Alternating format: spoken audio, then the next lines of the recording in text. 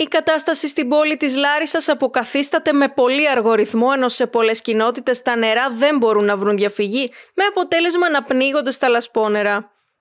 Στη Νέα Σμύρνη Λάρισα, στην Αγία Μαρίνα και στον Άγιο Θωμά, τα νερά από το πέρασμα της κακοκαιρίας έχουν λιμνάσει και δεν μπορούν να φύγουν. Το μεγαλύτερο πρόβλημα υπάρχει στο προσκύνημα της Αγίας Παρασκευής και στην κρεμαστή πεζογέφυρα μέσα στην κοιλάδα των τεμπών.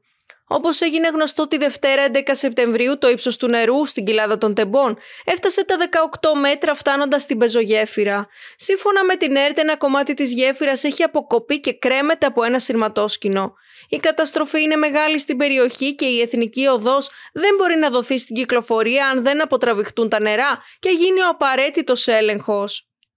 Η Λάρισα είναι αποκομμένη από τη Θεσσαλονίκη και σιδηροδρομικά γιατί από εκεί περνάνε και οι γραμμές του τρένου, ενώ ούτε οι υπεύθυνοι μπορούν να απαντήσουν με βεβαιότητα σχετικά με το πόσες μέρες θα χρειαστούν ώστε να επανέλθει το οδικό δίκτυο, αποκλείουν όμως αυτό να γίνει εντός της εβδομάδας. Χαρακτηριστικό είναι ότι αυτές τις μέρες για να φτάσει κάποιος από τη Λάρισα στη Θεσσαλονίκη θα χρειαστεί να κάνει μια παράκαμψη 5 ωρών.